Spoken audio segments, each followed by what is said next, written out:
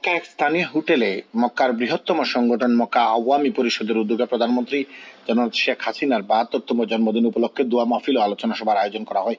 সভায় সংগঠনের সাধারণ সম্পাদক গুলাম মোস্তফার পরিচালনা সভায় সভাপতিত্ব করেন মক্কা আওয়ামী পরিষদের ভারপ্রাপ্ত সভাপতি কাইসার মাহমুদ।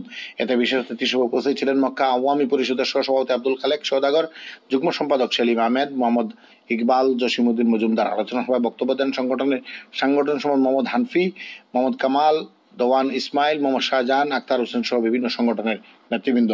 সংঘ সভায় অন্যান্যদের মধ্যে উপস্থিত ছিলেন মোহাম্মদ ফারুক আব্দুল শকুর, কামাল উদ্দিন, নাজিম উদ্দিন, মহিউদ্দিন সহ মক্কা আওয়ামী পরিষদের কেন্দ্রীয় কমিটি ও শাখা কমিটির নেতৃবৃন্দ। বক্তারা বলেন, জাতির জনক বঙ্গবন্ধু শেখ মুজিবুর রহমানের কন্যা, জননেত্রী শেখ হাসিনা হাজারো সমস্যার ষড়যন্ত্র মোকাবেলা করে বাংলাদেশকে উন্নয়নের মহাসড়কে দাঁড় করিয়েছেন।